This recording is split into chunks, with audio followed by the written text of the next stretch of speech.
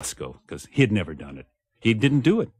In your memoir, you write a little bit, you write a lot really about how the Doors developed their sound and how you developed your sound as the keyboard player with the group. Let's take an example Mhm. of um, of one of those songs.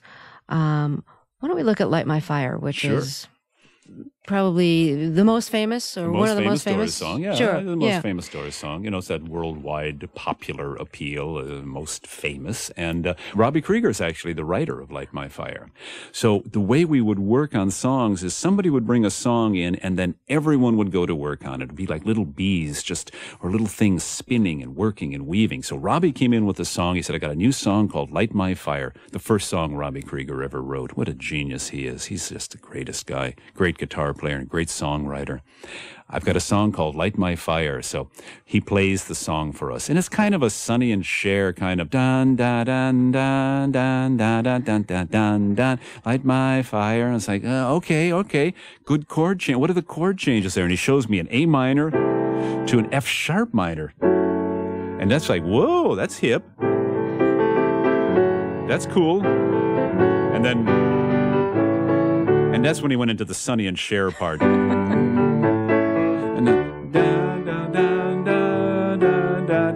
No, no, no, no, no, no, no. We're not going to do a Sonny and Cher kind of song here, man. And that was popular at the time.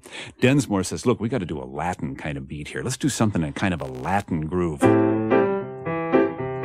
And I'm doing this left hand line. So John's doing ka-ka-chinka, chinka, dunka.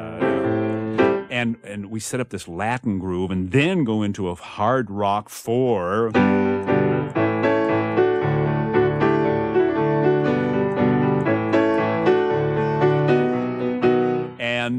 Robby's only got a, a one verse. He needs a second verse. And Morrison says, "Okay, let me think about it for a second. And Jim comes up with the uh, with the classic line, "And our love becomes a funeral pyre." You know, you know that it would be untrue. You know that I would be a liar if I were to say to you, "Girl, we couldn't get much higher." As Robby's. and Jim comes. The time to hesitate is through. In other words, seize the moment, seize the spiritual LSD moment. The time to hesitate is through. No time to wallow in the mire. Try now. We can only lose. Whoa, that's kind of heavy. Try now. We can only lose, meaning the worst thing that can happen to you is death.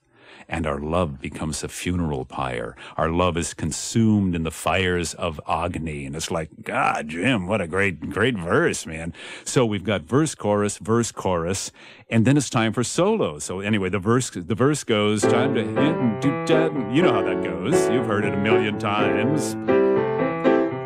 And then into the chorus, come on, baby, light my fire.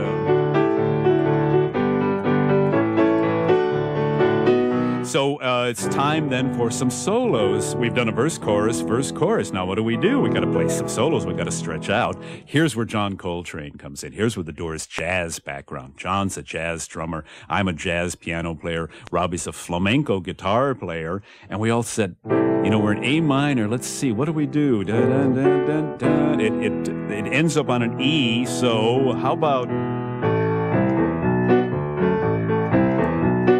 my favorite things, John Coltrane. It's my favorite things, except Coltrane's doing it in D minor. But the left hand is exactly the same thing. It's in three. One, two, three, one, two, three. A minor, uh, uh, the doors, Light My Fire is in four. We're going from A minor to B minor. So it's the same thing as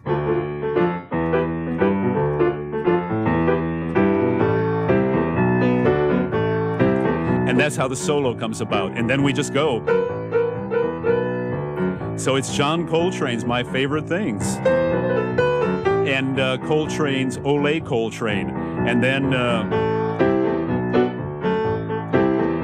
that's the chord structure. Then I would solo over it. Robby would solo over it. And at the end of our two solos, we'd go into a, a three against four. And I'm keeping the left hand going exactly as it goes. It- that hasn't changed. That's the four. On top of it is three.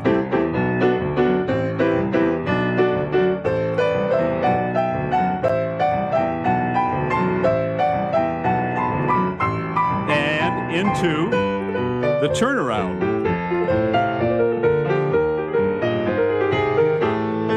And we're back at verse 1 and verse 2. And we're back into our Latin groove. So it's basically a jazz structure. It's verse, chorus, verse, chorus, state the theme, take a long solo, come back to stating the theme again. And that's how Light My Fire came about. The only thing left to do was to come up with that little turnaround thing. I hadn't had that yet. And we said, how do we start the song? Do we just jump on an A minor to an F sharp? We, you know, we're going to do that, vamp a little bit. I said, no, no, no. We need something more than we can't just vamp a little bit. And I started this. I put my Bach, Bach back to work, put my Bach hat on, and came up with a circle of fifths. So I started like this. Uh,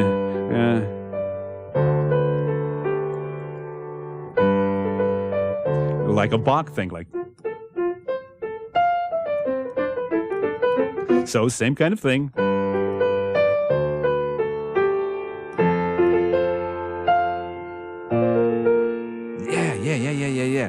B flat, I'm in, so I'm in G, D, F, up to B flat, E flat,